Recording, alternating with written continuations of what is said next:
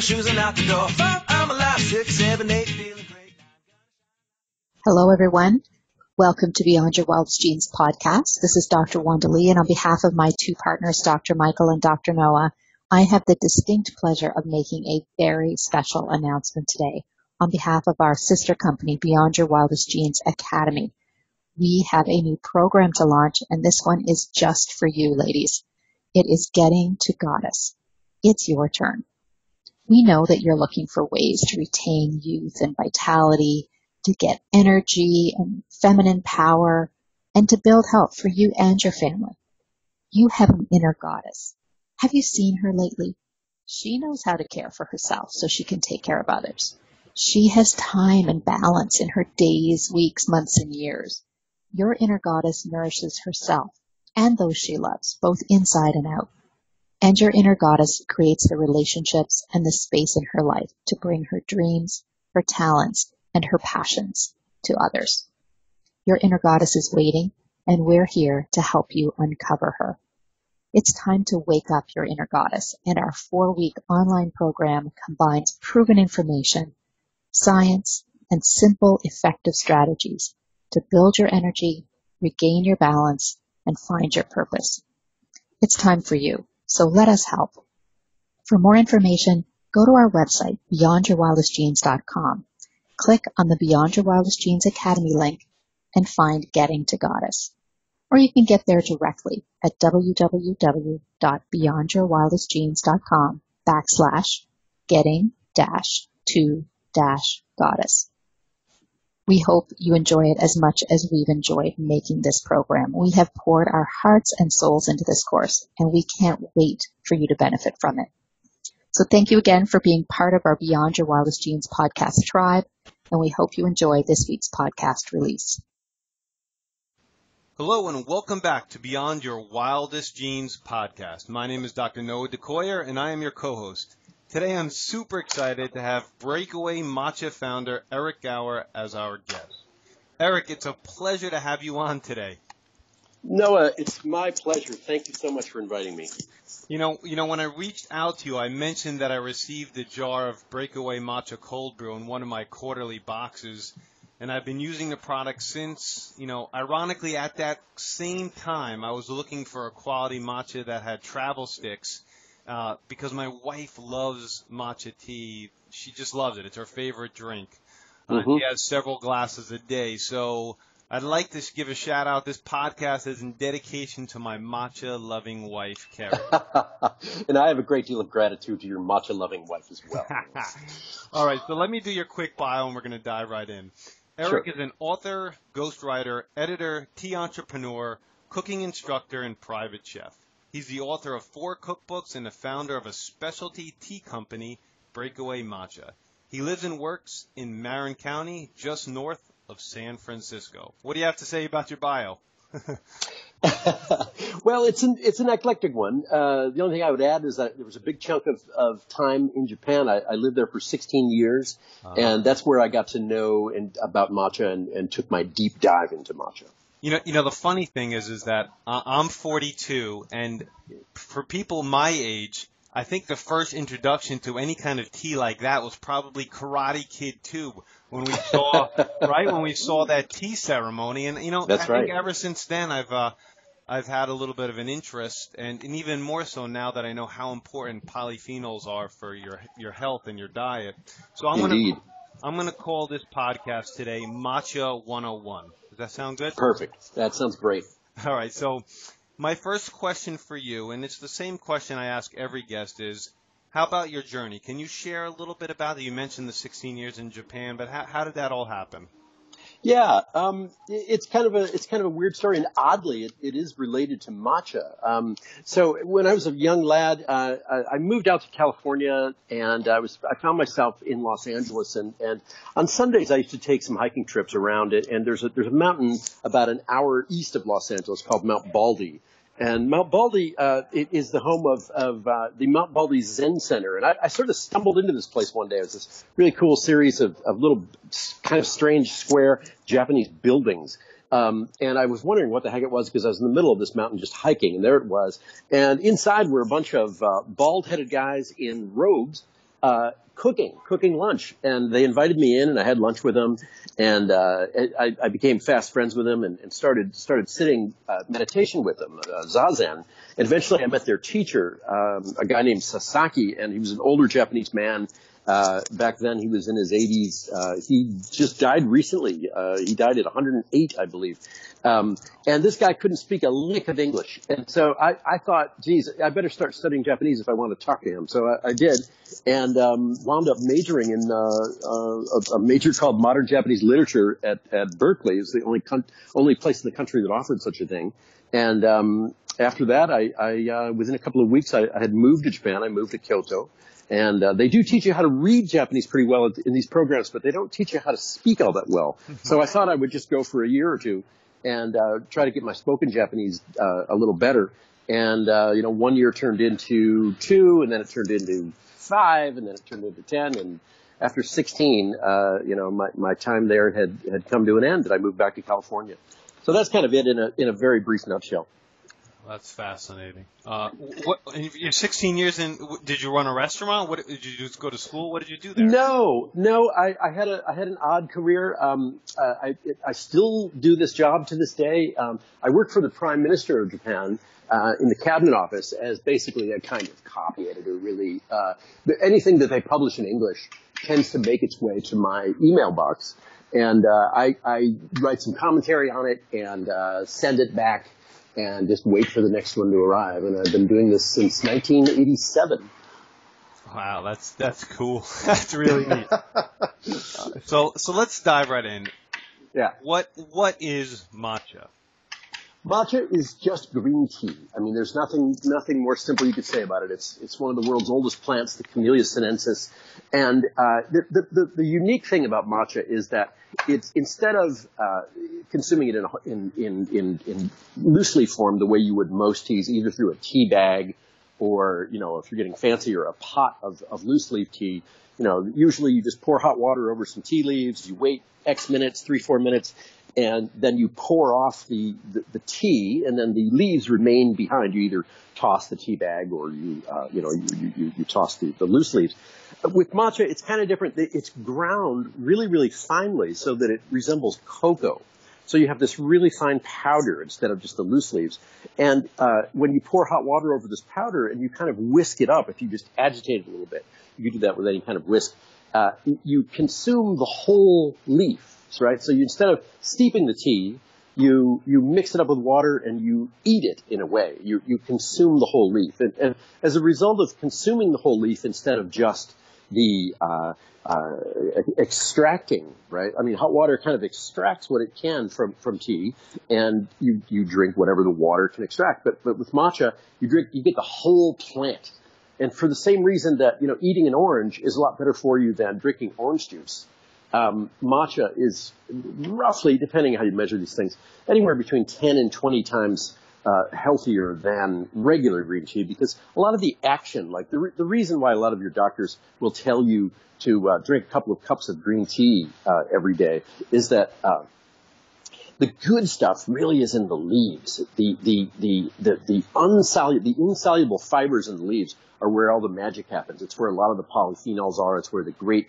Uh, uh, the, the, amino acids, uh, the EGCGs. We can get into the technical details of, of what exactly is in there, but uh, but basically, it's much better to consume the whole leaf than to just extract it with hot water. Okay, so that's that's the difference between a regular green tea from matcha. Does it does it have? I I, I fantasize about matcha having this unbelievable story or origins, you know, thousands of years ago in Japan. Does does it have uh, something like that?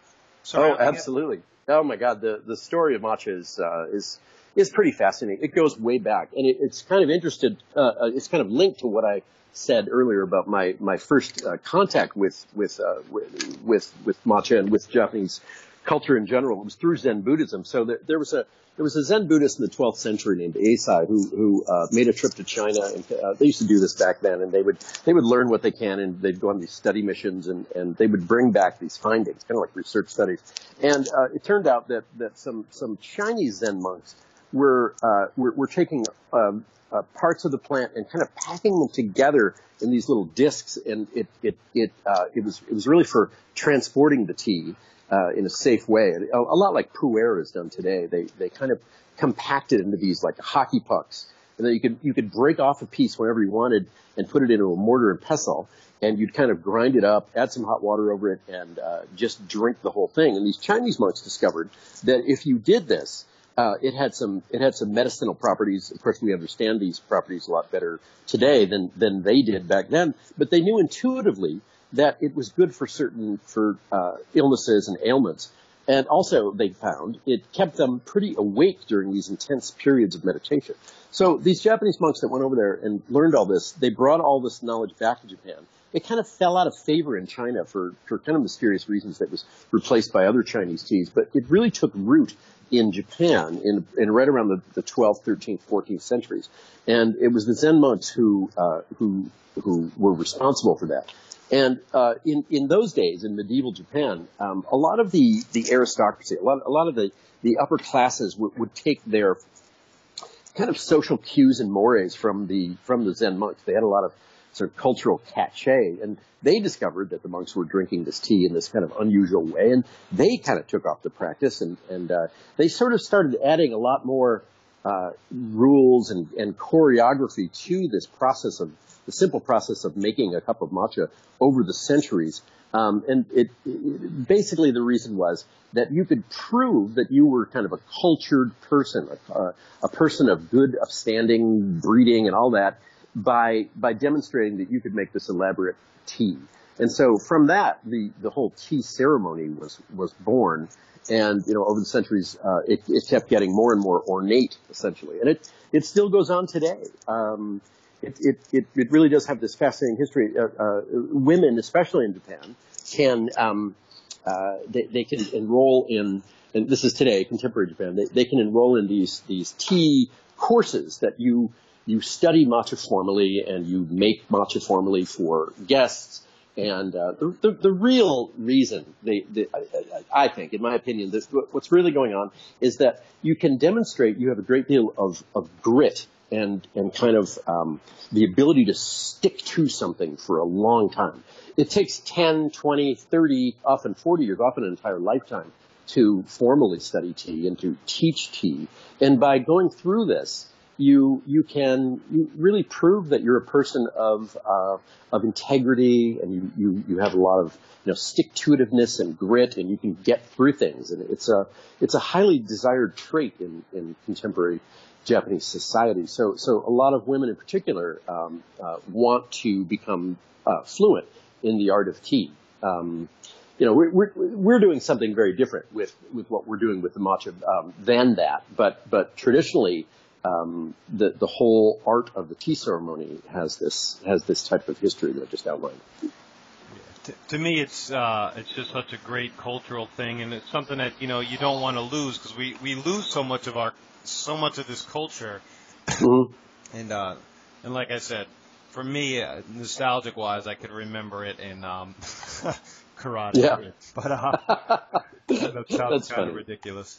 No, no, no. It's great. It's actually it's fine. And and today, uh, a lot of people's first uh, uh, encounter with matcha is at a place like Starbucks. I mean, about eight or nine years ago, Starbucks introduced their first matcha, and it was a great hit. And they've they've had it ever since. Now they they load it up with with enough fat and sugar to make it a matcha milkshake. Essentially, it's not really a tea what they serve. It's more like a you know a, a calorie bomb. But but it's it it, it is people's first experience with matcha, and and that's good. Anything that that gives them, uh, it, it's a lot like Karate Kid. Anything that gives you that first exposure is is worthwhile, and and some people get intrigued by it and they want to take a deeper dive, and that's when they find somebody like me.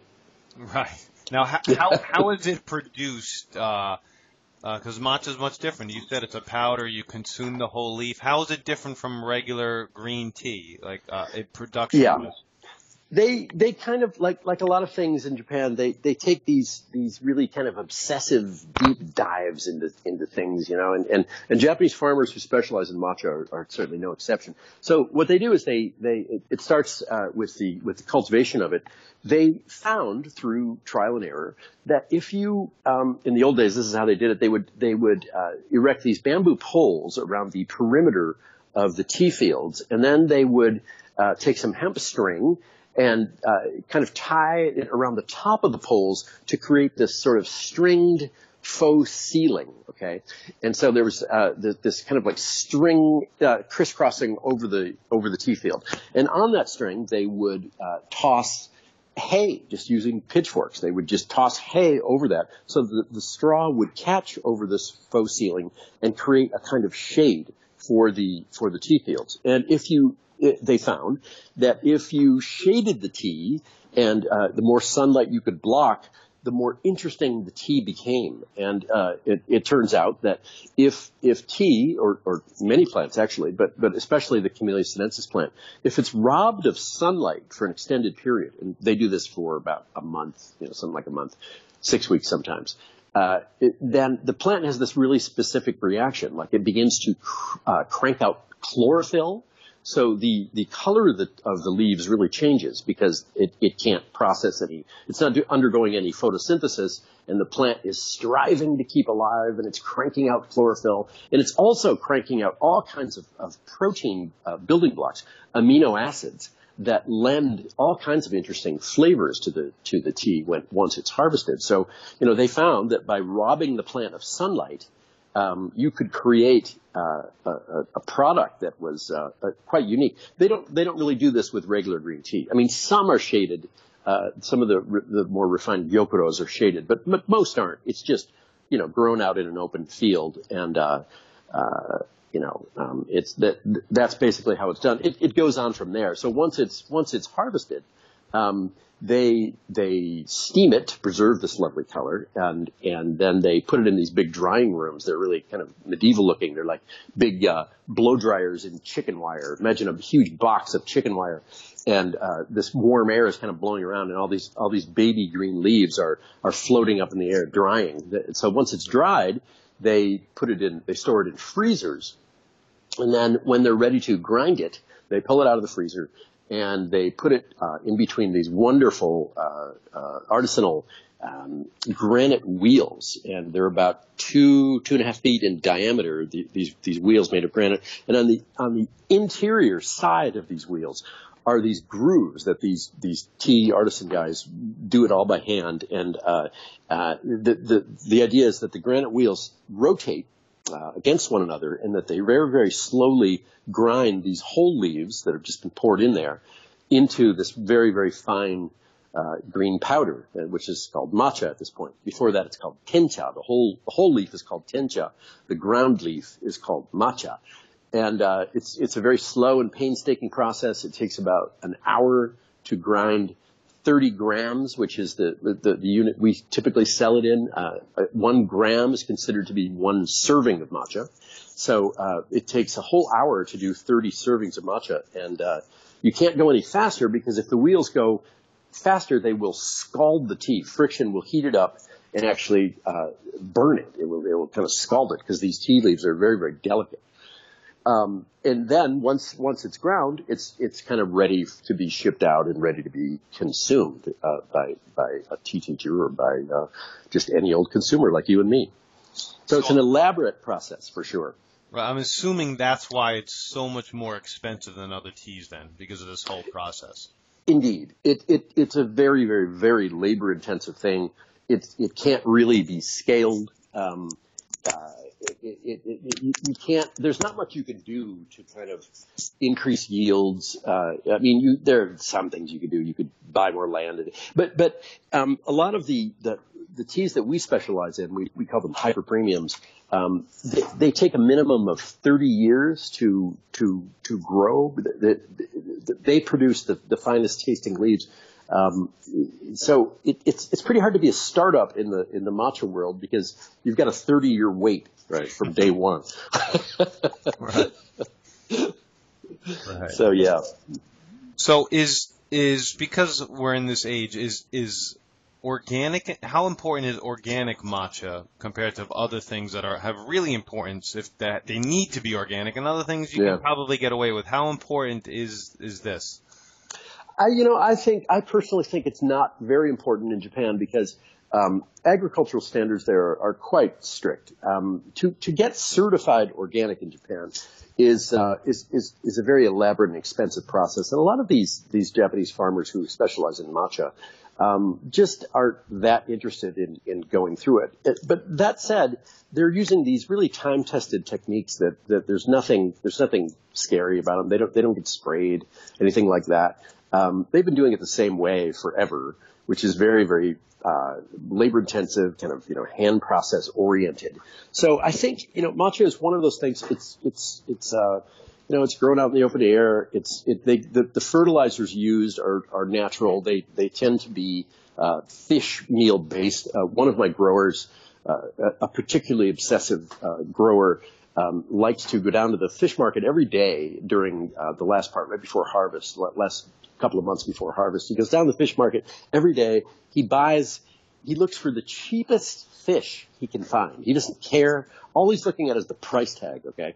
And he'll buy a whole bunch of it. He'll take it home. He'll put it through a meat grinder and, and create this paste. And then he'll apply that directly to the root ball of his most prized uh, uh, plants.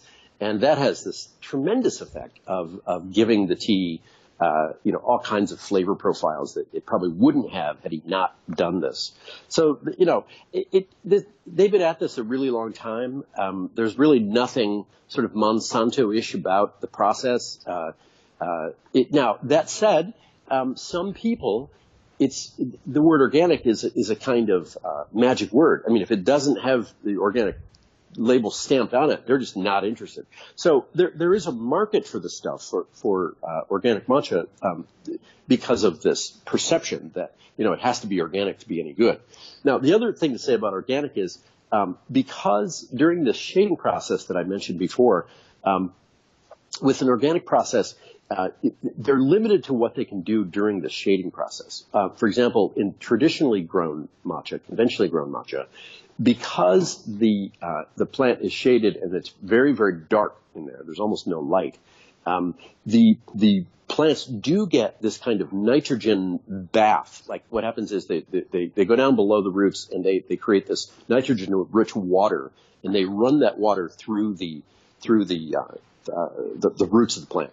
And um, with certified organic, they can't do that. So that's that's really the only difference. But but it's a big difference because uh, during the shading process, you know, the, the plant is essentially dying, right? I mean, it's been robbed of its sunlight and it's trying to stay alive and it's cranking out chlorophyll and it's cranking out amino acids, doing all this stuff. But without some kind of uh, energy boost, i.e. from the from the nitrogen, it's hard for the plant to remain really kind of vibrant and uh, and healthy. So um, conventionally grown matcha typically is uh, a lot tastier than organic matcha, even though the organic matcha is going to be quite a bit more expensive, and that it has this you know reputation of being ipso facto better than non-organic matcha. So you know it's it's it's a bit of a um, an unusual situation there. I mean, it's not like blueberries where it's it's clear that you really ought to be eating organic blueberries versus not organic blueberries.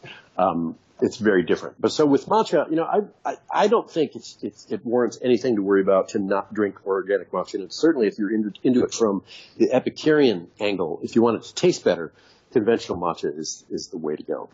Oh, that's that's fascinating. Fascinating. Mhm. How, how about Mike Michael? Is there anything that grows on tea that's a concern? uh, Our audience should be concerned of, or that's not really an issue either. To my knowledge, not really. You, are you talking about like molds or something like that? Mm-hmm. mm-hmm. No, I don't think so. I mean, I think I think the care going into this process. I mean, Japan is a is a very humid place, especially in the summer. I mean, there is a lot of humidity. People do have have mold in their houses for sure, but uh, you know, the, the steaming process and the whole way that it's it's done would uh, tend to take care of any any mold issues. I, I've never run into a mold issue, and we've done we've done a lot of testing on it. So uh, I think I think we can we can confidently say that, that there's no mold in this stuff. Yeah. That's that's good because some people are going to be concerned about that. So I just I, I have absolutely that for sure for sure. And it's now, a legitimate concern. Yeah, it sure is. Now, w- w- most people have an idea that green tea is really healthy. And there's some components that I'm familiar with, and maybe there's some that I'm not that I'd like you to discuss. But I mean, there's there's ECGC, which you commented on. There's poly, mm-hmm polyphenols. You mentioned yep. chlorophyll, and then uh, my most famous would, favorite would be caffeine. yeah. uh, and I guess the, maybe theophylline or theanine. Maybe I'm pronouncing it wrong. But what are yeah. some of these these chemicals or components that really you know give matcha its really helpful punch? Yeah, I mean, well, let's start with the caffeine. I mean, that is one. Uh, th- there are lots of demonstrated health benefits to having a small amount of caffeine in your diet. It does keep you very alert, which is useful. um, yeah, and um, you know, um, the, one that you mentioned before, L-theanine, is a very interesting uh, molecule, very interesting substance. Um, it's been shown in in, in laboratories that, uh, in, in very, I, I, can talk about this study in a second, but it's been shown that uh, L-theanine in the bloodstream has a really unique effect on the brain. It, what happens is that alpha waves begin to get generated. For whatever reason, there's some kind of link between L-theanine in your bloodstream and how your brain, uh, uh, the, the, I don't want to say processes electricity, but, but it exhibits uh, a different wavelength when this is present. So the, the alpha waves are kind of stimulated when L-theanine goes into your system. And uh, it's it's it's super interesting. Um, uh, probably about ten years ago, down at Stanford, they did they have a famous uh, sleep center down there, and they were really trying to understand all these different waves, like the electrical wavelengths in the brain, the alpha waves, the gamma waves, the beta waves, and uh, they invited the, the Dalai Lama was, was was in the Bay Area, and they invited him down, and they thought that it would be interesting to test uh, and, and, to rig up uh, the Dalai Lama and several of his uh, his chief guys around him, very experienced meditators. They've been meditating three hours a day for you know 70 years. Um, and what they did was they uh, they uh, they hooked up a bunch of equipment and they uh, asked them to do their normal three-hour morning meditation while being you know hooked up. And they they produced all kinds of data out of this. But but what they really found was that when during some of the deepest uh, sections of the meditation that these alpha waves were, were produced, which was a really, really interesting find. No one had really known that apparently before that. But, uh, so w- when you're in a meditative state, you're, you're it, it, under uh, alpha waves. Uh, it's it's it's a very interesting one because you are um, you're very awake yet you're extremely relaxed at the same time. So that's kind of a, almost sounds like a contradiction. Most people, if you're, if you're extremely relaxed, you're sort of going to sleep. But when you're in a deep meditation state, you're, you're both. You're both deeply relaxed and you're, you're very awake at the same time. You're very alert. You're very aware. Um, and L-theanine, it turns out, you know, is very similar. So if, if, if you can get into an alpha wave state via L-theanine, it just seems to be another avenue uh, of getting there, uh, in addition to meditation, which I find really interesting. So that's why sometimes I call it a kind of liquid meditation, and I'm sure that it has something to do with uh, the, the origins that we talked about before. Uh, you know, when Zen monks realized, uh, you know, they didn't really know anything about L-theanine in the 12th century, um, but they did know that uh, somehow, after drinking this tea, they felt both relaxed and very awake, and they were able to uh, do these kind of extended meditation uh, sessions uh, with this tea. That's how it became popular. So, you know, that's a that's an extremely interesting uh, part of the matcha story as far as um, uh, you know it, the interesting stuff inside matcha. The other one you mentioned and that I mentioned before is is something called EGCG. It's uh, epigallo catechin gallate and uh, that is has been linked in all kinds of interesting uh, scientific and medical studies to for its effect on on cancerous cells. It's it's really very interesting. It often it often induces something called apoptosis, which is a, a spontaneous sort of just death of a cell. And for whatever reason, uh, uh cells that are exponentially multiplying, when they run into this EGCG, they, they run into kind of interference. It, it, it doesn't like it. Now, it, the, the, mechanism hasn't been uh, proved in a in a causal sense, but there are enough studies. There, there are a couple hundred studies at this point uh, that suggest that uh, large quantities of EGCs in your system during, for example, uh, uh, or in conjunction with uh, chemo and radiation is extremely helpful, which is why a lot of oncologists recommend uh, a couple of cups of green tea while you're while you're undergoing these things. So it's it's it's you know it's not proven. You have to be careful of what you say about this stuff, but but it's one of those things where why wouldn't you try it? I mean, if you've if you've got some kind of cancer and you're undergoing treatment, you, you know you want to you want to you want to do everything you can to make this treatment successful. And if if if having a cup of green tea uh, is is beneficial, I, it, it's hard to find a reason why you wouldn't do it. Right. Right.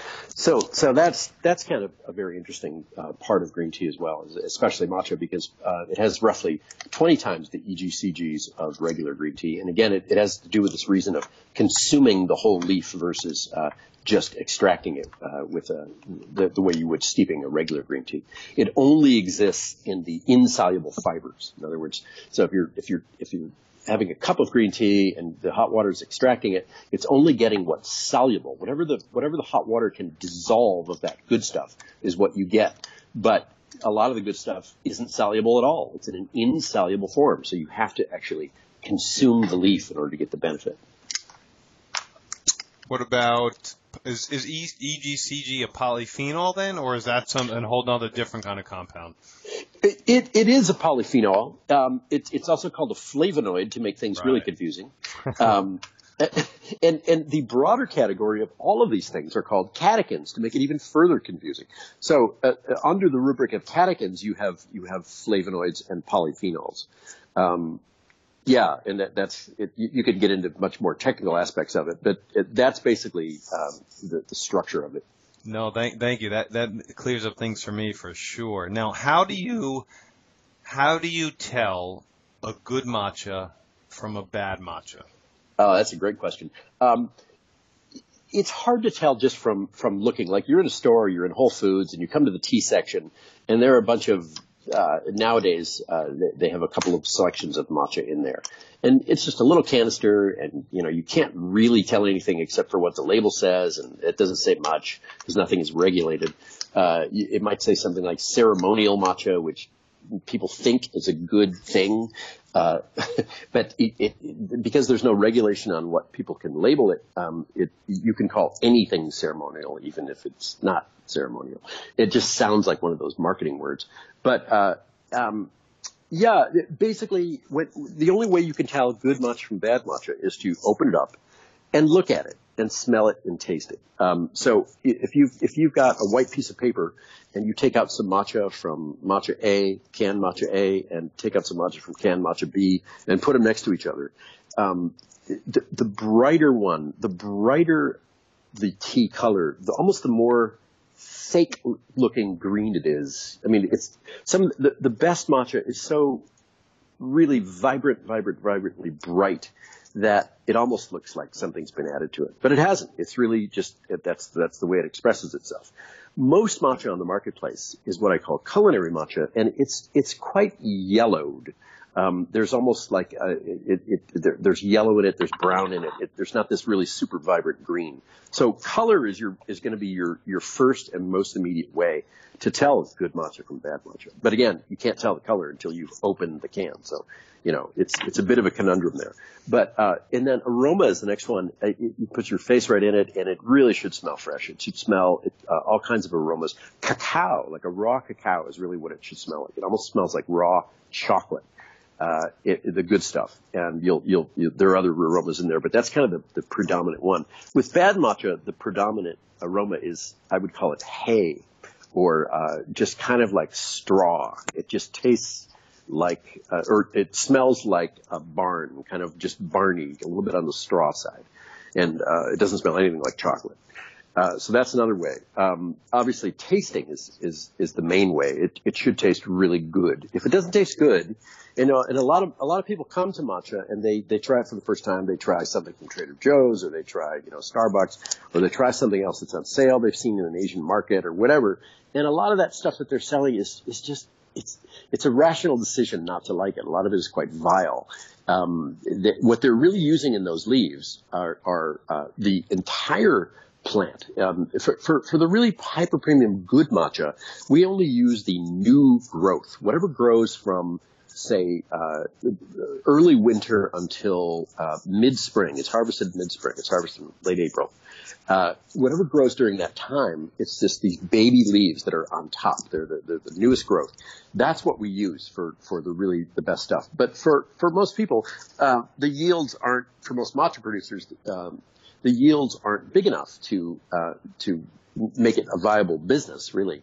Um, and so they take leaves from the entire plant. So they're taking leaves that are, you know, many years old and throwing them into these big industrial grinders. Uh, you know, they, they don't take the time to remove the backbone from each of these leaves. You know, some of the things that the obsessive farmers that we talked about before do. They they don't bother to go through any of that because it's it's expensive to do all that. Uh, and so they just kind of grind up a bunch of mediocre tea leaves and declare it matcha, and it's it's it's really quite bitter and unpleasant. And, but if you throw enough fat and sugar at it, you know, like they do at Starbucks, I mean, everything tastes good as a milkshake. You know what I'm saying? right. Well, um, Eric, so let me ask you this: How much of an abomination is something like? Because I, I, I know, I know you sell it, and we're going to talk about breakaway in, in a minute. Yeah. But I, I like cold brew matcha, and I like mm-hmm. hot matcha. I probably like it cold. Uh, probably more, and I think that's the way mm-hmm. my wife drinks it. Is that like a total abomination, or is not at all? No, no, no, no, no, no. It, no, it's not an abomination. Drinking it cold is actually wonderful. It's uh, uh, it, it's so refreshing in the summertime, and it's it's a little less hassle to prepare, and it also the um, it's something to do with the human palate, but but the human palate cannot taste bitter notes at certain temperatures. At, at around 38 degrees Fahrenheit, it's very difficult to taste uh, bitterness. And so you can take a, a kind of subpar matcha and uh, drink it ice cold. It's going to taste much better than it will if you drink it hot because the hot brings out all it uh, these the bitter qualities of the leaves um, are, are, are are kind of expressed through heat and they're not expressed through uh, when when the temperatures are in, in the high 30s. So it, there's absolutely nothing wrong. There's no abomination whatsoever to drinking it cold. It's a, it's a total pleasure to do. Um, so yeah, don't take that. And the only the only thing I would say with abomination, and and again, this is kind of a rational decision, but if you've got a, a subpar matcha on your hands and you don't want to waste it, um, it's it's sort of the only way to make it palatable is is to to throw a bunch of fat and sugar at it. So if you sweeten it up with your you know your honey or your agave or your maple syrup or even just sugar, um, and you add some half and half or some cream or some whole milk or whatever it is, and you shake it up, you know you now you're talking about kind of a green milkshake type drink. And that, that does make bad matcha palatable. And that's, that's how, that's how a lot of people experience it. If they just drink it with hot water, they're, they're going to be in for kind of a, a an unpleasant surprise, you know. And, and, and that's not even, you know, an abomination either. At least it's a way to, to get this down, but it's, it's really a, not a very healthy habit. I mean, you know, the more we hear about the story of sugar, the more the more we realize what a, what a pretty toxic substance this stuff is, right? So we, we really don't want to be sweetening everything uh, if if we care about our health. Um, so from that stance, you know, uh, drinking better matcha doesn't doesn't need to be sweetened. There's no no sugar added at all. So uh, yeah, um, that that's what I would say about that. Cool. So please, at this point, I'd, like you to talk up break, Breakaway. Why it's so special, quality, unique products. And for me, like I've been consuming your product now for I don't know six, seven, eight months. I've tried yeah. a couple different flights. I've tried a couple of different cold brews.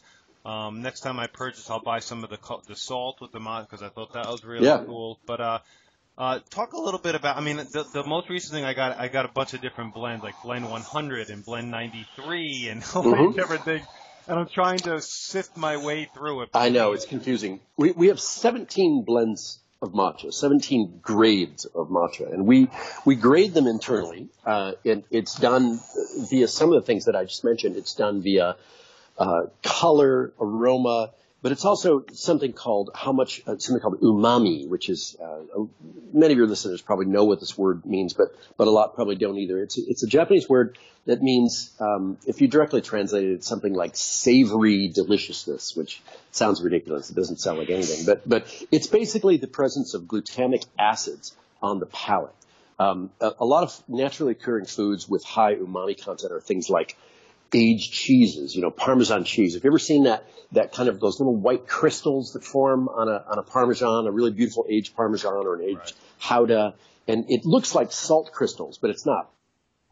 Those are little glutamate crystals. If you put one of those glutamate crystals on the, on the middle of your tongue and you just taste it, it's amazing what happens. You begin to sort of wildly and involuntarily salivate. It's really super interesting. And these glutamic acids go into our system, and they're aided by the production of saliva, and uh, they make foods taste really good. An- another one is uh, miso soup. If you ever take a, a sip of miso soup and your whole mouth kind of lights up with this brothy, uh, savory deliciousness, this umami. That, I mean, that's one. Um, seaweed is another one. Uh, the the Maillard reaction when you when you grill meats is, is another one. Like if you just taste a, a piece of grilled meat and that, that kind of that outside little, little crusty part is full of glutamic acids that, that get expressed. Um, all of that is umami, and and uh, matcha has a ton of umami. That's kind of the holy grail. It's like the more umami the matcha has, the better it tastes. And so we we try to figure out how much umami all these blends have, and, and as you go up in the blends, they start at uh, at the blend 93, as you mentioned. They go they go all the way up uh, to something called the blend Daphne. Um, that the, the umami uh, increases as you go up in the blend. Also, the, the natural sweetness of the tea increases as you go up in the blend. Um, uh, uh, we, we, it, it's all about finish, for example. It's a lot like wine. Like uh, it, after you swallow it, how long does it remain in your mouth? Like how long can you taste it? Uh, how long does it just kind of keep singing after you swallow it? We literally take a stopwatch and we, and we time it to figure out how long uh, the finish is. All of those things get get kind of added up and uh, become benchmarks for grading different different uh, different quality matcha. And so we we've come up with uh, with 17 so far. Um, and it is confusing for the novice for sure. Uh, it, it, but um, if if you're intrigued and your listeners are intrigued, it's it's better to start with kind of the lower ones, the less expensive ones, to make sure that you are you know that you like it. I mean, some people some people like it and some people don't. I mean, I think most people uh, who are interested in their health and who are interested in food really take to matcha quite quickly. But for others, you know, their their their their palates are just different, and they're just you know they either need to put a lot of sugar in it to make it palatable, or you know they're just not interested in it. But basically, um, you start with the with the lower, more affordable blends, and you you kind of work your way up from there as, as you as you get into it. Now, are all your blends from Japan, or does, does any yes. happen in the United States? No, unfortunately, I, you know, I've looked into it, um, I, and I've talked to a lot of growers, a lot of farmers about this, and, and it, there seem to be very specific growing conditions that are really kind of perfect in Japan. Again, it's like the wine world, you know, like why is it that that you know the, the Burgundy region of France and, and the Napa Valley in California and certain parts of Australia, there, there, there are these there are these little pockets in the world that really seem to produce some of the world's great wines, and, and it can't be done in places like uh, you know Canada and Mexico. Um, I mean, it probably could be with a lot of technological help, but but traditionally it, it's it hasn't been, and it's I think it's the same with with matcha. There, there are certain regions in Japan that uh, are just very conducive to producing uh, these really great teas. Um, the the main growing region in Japan, a place outside of Kyoto called Uji, uh, is is is a valley uh, it's this, uh, they call it a bonchi in Japanese. And it's this valley, and, and it's the bottom of the valley. It's very humid. It's really hot in the summers. It's really cold in the winters. It's very wet. Um, it seems to be the ideal environment for this stuff. And, and there really isn't a place like that in, in, in the United States. I think the closest would be somewhere like Kentucky, um, that does have a lot of high humidity and it's got these kind of low-lying valleys and stuff like that. But um, the, the the amount of of, um, of effort that goes into uh, producing you know great matcha. Again, I mentioned that you know the plants have to be 30 years old to start producing really fine fine stuff. Um, puts a lot of people off right there. I mean, it would be it would have to be a very far-sighted uh, endeavor to to to start to do this. And it doesn't mean people can't try. And I, some people in Hawaii have tried, and I've, I've tried some of those, and they're they're okay. But um, so far, uh, the only place that's been able to do this is, is in Japan. Fascinating. So I have two final questions, and I and I hope you indulge me. The first Sure. one is the day in the life of Eric. How does it start, and how does it end? What what is it? What does your day look like every day? Well, of course, it starts with a bowl of matcha. You know, you gotta gotta just start the day right. no, but um, I, I I tend to you know I, you mentioned in the beginning that I, that I like to cook. I, I do. I, I tend to make a, a, a pretty good breakfast that's that's very um, nutrient dense. I, I, I like a lot of eggs and avocado, and, and uh, I, I, I have I eat a lot of fish like sardines and mackerel and stuff like that. And uh, um, so I, I try to I try to start the day well um, with with some, some very nutrient dense breakfasts. Um, and then I you know I show up at work and you know doing my thing, and, and I typically bring my lunch. And, and again, it's it's it's it's usually whatever I cooked the night before, and I I, I, I try to put some effort into it, but you know without going too crazy. And um, and I try to get a little bit of, I try to keep moving. Of course, you know, the, the more we learn about, about optimal health, it, a lot of it is about movement. Um, so many of us have these sedentary lifestyles, including me if I, if I, if I lapse, but I do try to, to get up and, uh, and do, do some, some, some interval training. Um, it turns out that, that, uh, trying to mimic, um, how our, our great ancestors did, a lot of the paleo people kind of understand this, but, but, um, sprinting is probably a lot more beneficial than, than jogging for 45 minutes. And there's lots of interesting reasons why, but, but I do try to get out and just run around. Um, uh, ju- I, I feel better when I do. It just, it just kind of works for me. And it, I really recommend it to people. Um, and then, you know, I've come back in the afternoon and, uh, just more, I'm usually working and reading and, and, and, and uh, uh, get trying to get a lot done and and and then I I go home for dinner and I have a, a young daughter and my wife and I uh, put together pretty nice uh, pretty nice dinners and we try to spend a lot of time together and not have a whole lot of stress in our lives. So I think if you and and sleep is kind of important too. Of course, I mean you have to have a really decent bed. You're going to be in bed for 30 of your life. You might as well you might as well try to try to try to make that experience as, as good as possible. Um, so I think if you can if you can really if you can sleep well, if you can if you can get a lot of movement during the day, and you can give your body as many nutrient dense foods as possible, that really is uh, is a, is a pretty good pretty good head start on, on how to lead a healthy life. My my God, well said. Now, can a tea purveyor, and lover, and business owner still enjoy a great cup of coffee? Oh yes, you know it's like people who you know, say, are you a dog person or a cat person? Well, you know, I happen to love both. And I actually love great coffee. I mean, I, I don't like supermarket coffee. I'll, I'll pass on that. But, but some of the, I mean, there's one of life's great pleasures is, is a great cup of coffee. I, there's no reason why you couldn't enjoy that. I mean, unless you're caffeine sensitive and all this other stuff, unless you've got medical reasons why you shouldn't be drinking coffee, uh, you know, why, why, why would you, why would you deny yourself that great pleasure? And how can our audience find out more about Breakaway Matcha? Well, the website's the best place to learn about it. It's just breakawaymatcha.com. It, it's all outlined in, in great detail there. Um, yeah, we're, we're, we will be unleashing a, a whole new revamp of the website in about 10 days. So, um, uh, lots to look forward to there. We, we finally got in a, a, research section that I've been wanting to do for a long time. I've collated a whole bunch of uh, medical and scientific studies on the on the uh, of what's been done with green tea and matcha in the, in the medical community, and uh, so we've got we've got a lot of those uh, studies that'll be published there. There's um, uh, we, we, we did something called the Matcha Academy, which goes into great te- detail about a lot of the technical aspects of of some of the things we've talked about, how it's grown, uh, you know, its history, uh, uh, lots of, uh, of tutorials on how to how to make a great cup, either hot or cold, um, you know, stuff like that. So we're trying to we're trying to educate people on this on this great great beverage. Um, I, I think it's still sort of inning one in this world of matcha. Most people in the world have not really heard of it.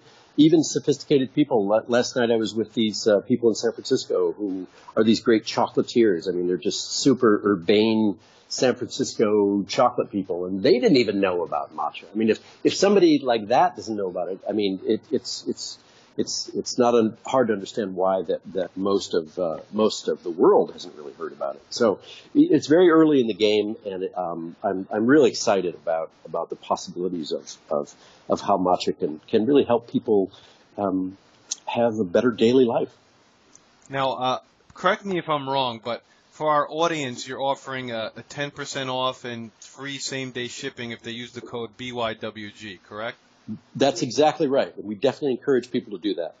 Great. Thank you. Thank you very much. Any last words, Eric? No, it's just a, a real pleasure to talk to you, uh, Noah. It's it's it's been a lot of fun, and uh, you know, get up from your desk and move around is what I would say.